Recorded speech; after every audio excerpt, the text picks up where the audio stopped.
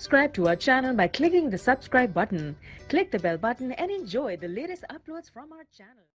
सैयदना शुएब अलैहिस्सलाम की कौम एक काफिर और ताजिर कौम थी बुतों की पूजा करती थी और डाके डालती थी ये लोग तिजारती रास्तों पर खड़े हो जाते, तिजारती काफिलों को इस तरह लूटते थे कि हर काफिले से जबरन दसवां हिस्सा वसूल कर लेते थे खुद भी मिलावट हेरा फेरी और धोखाबाजी के माहिर थे मिलावट तो गोया उनकी घुट्टी में पड़ी थी।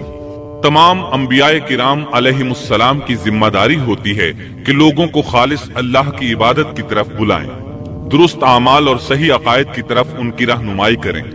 शुएब अलैहिस्सलाम की दावत का तस्करा सूरह हूद आयत 88 में है कि शुएब अलैहिस्सलाम ने अपनी कौम को मुखातिब करके फरमाया मेरा इरादा तो अपनी ताकत भर इस्लाह करने ही का है। दाई हजरात पर सिर्फ़ अपनी बिसात के मुताबिक पैगाम पहुँचा देना होता है। लोगों को ईमान लाने पर मजबूर करना अंबिया और दाई हजरात के मिशन में शामिल नहीं है।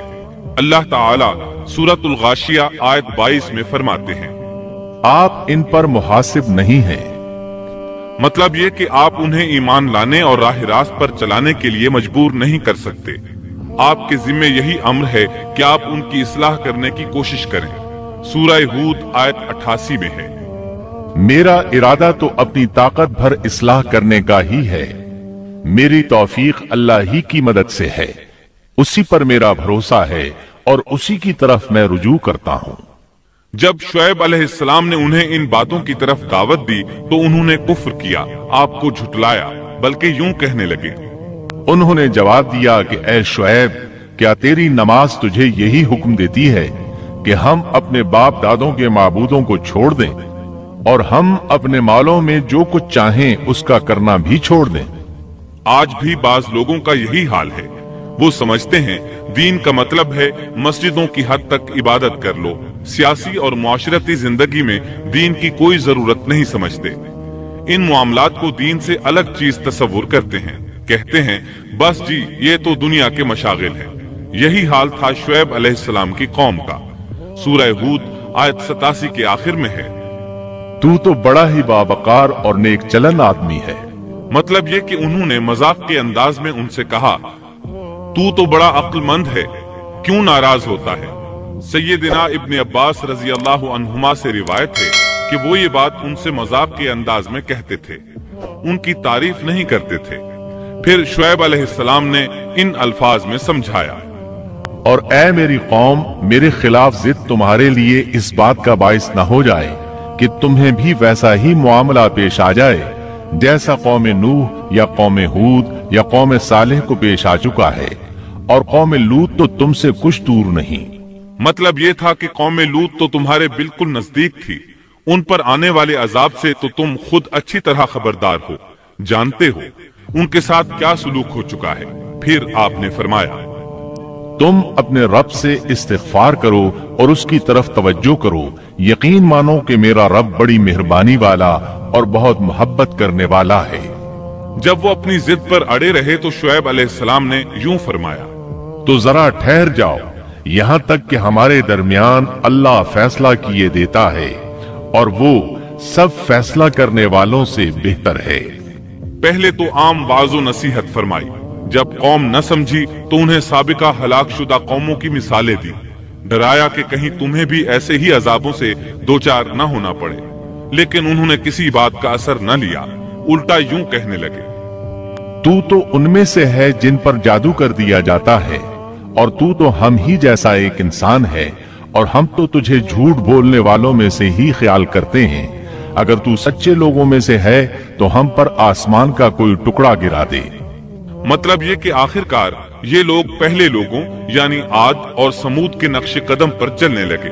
उनके अम्बिया उन्हें हक की तरफ़ बुलाते रहे, वो इनकार करते रहे। आखिर उन पर अल्लाह के अजाब उतरे। ऐसे ही ये लोग भी शुएब अलैहिस्सलाम को धमकियाँ देने लगे। उनके मुकाबले पर उतर आए।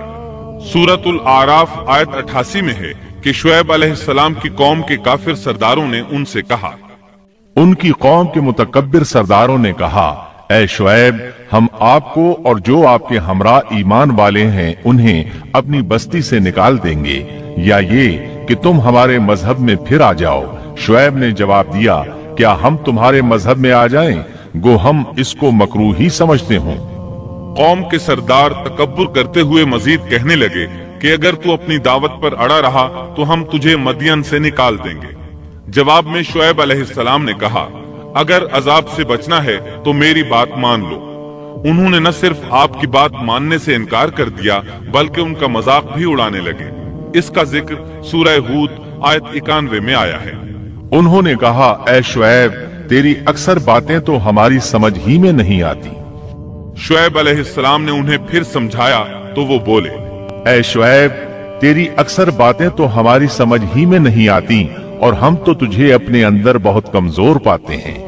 अगर तेरे कबीले का ख्याल न होता तो हम तुझे संसार कर देते, और हम पर तुम्हारा दबाव तो है ही नहीं। इस पर आपने फरमाया मेरी कौम के लोगों, क्या तुम्हारे नज़दीक मेरे कबीले के लोग अल्लाह से भी ज़्यादा इज़्ज़त वाले हैं? मतलब ये कि तुम मेरी कौम कबीले से तो डरते हो, लेकिन अल्लाह ताला का तुम्हें कुछ भी डर नहीं। इस मौके पर उन्होंने अपनी कौम को यूँ खबरदार किया ए मेरी कौम अब तुम अपनी जगह अमल किए जाओ। मैं भी अमल कर रहा हूँ। बहुत जल्द तुम्हें मालूम हो जाएगा कि किसके पास वो अजाब आता है जो उसे रुसवा कर दे और कौन है जो झूठा है। तुम भी इंतज़ार करो। मैं भी तुम्हारे साथ इंतज़ार करता हूँ। फिर आपने दुआ फरमाई, ए अल्लाह, मेरे और मेरी कौम के दरमियान फैसला कर दे। उधर कौम के लोग इन्हें बस्ती से निकालने और संसार करने की धमकियाँ देने लगे। आपकी दुआ के अल्फाज सूरह आराफ, आयत उनानवे में आए हैं। ए हमारे परवरदिगार, हमारे और हमारी कौम के दरमियान हक के मुआफिक फैसला कर दे, और तू सबसे अच्छा फैसला करने वाला है। आखिरकार फैसले की घड़ी आ पहुँची। अल्लाह ताला ने सैयदना शुएब अलैहिस्सलाम और उन पर ईमान लाने वालों को नजात अता फरमाई, और उनकी कौम पर अजीब व गरीब अजाब नाजिल होना शुरू हुआ। और अजाब सिर्फ़ एक ही किस्म का नहीं था। कई नौयतों और शक्लों में आया। अल्लाह सुबहानहू व हमें अपनी कुदरत की निशानियाँ दिखाते हैं कि कौम आद किस तरह तुंदो तेज हवाओं से तबाह की गई, जबकि शुएब अलैहिस्सलाम की कौम को इसके बिल्कुल बरक्स अजाब दिया गया। अल्लाह ताला ने हवा को रोक लिया। हालत ऐसी हो गई कि हवा बिल्कुल न चली। गर्मी और हरारत तेज हो गई। फिर अल्लाह ताला ने बस्ती से बाहर एक बादल भेजा। उसके नीचे साया था। बच्चे, बूढ़े, जवान और औरतें सभी उस साय में जगह पाने के लिए भागे, ताकि गर्मी से बच सकें। आखिर बादल के नीचे पहुंचकर बैठ गए। जो ही सब वहाँ पहुंचकर बैठे, उनके नीचे की ज़मीन हिलने लगी, हिचकोले खाने लगी। यहाँ तक कि जलजला शुरू हो गया। सब घुटनों के बल गिरते चले गए। उसी वक्त जिब्रील सलाम तशरीफ़ लाए और ऐसी जोरदार चीख मारी कि उस चीख की शिद्दत की ताब न लाते हुए सब के सब वहीं ढेर हो गए। अल्लाह ताला सूरत शुरा आयत एक सौ नवासी में फरमाते हैं, बस उन्हें साइबान वाले दिन के आजाब ने पकड़ लिया। जब उन्होंने साय और हवा को गुम पाया तो बादल को देखते ही उसके साय की तरफ़ लपके। लेकिन उसमें तो अजाब था, और उन्होंने यही तो कहा था अगर तुम सच्चे लोगों में से हो तो हम पर आसमान का कोई टुकड़ा गिरा दो। बस अल्लाह ताला ने आसमान से ऐसा ही अजाब भेज दिया। अल्लाह सूरह आराफ आयत इक्यानवे में फरमाते हैं, बस उन्हें जलजले ने आ पकड़ा, सो वो औंधे के औंधे पड़े रह गए। अल्लाह ताला मजीद फरमाते हैं, सूरह हूद आयत चुरानवे ता पिचानवे में है।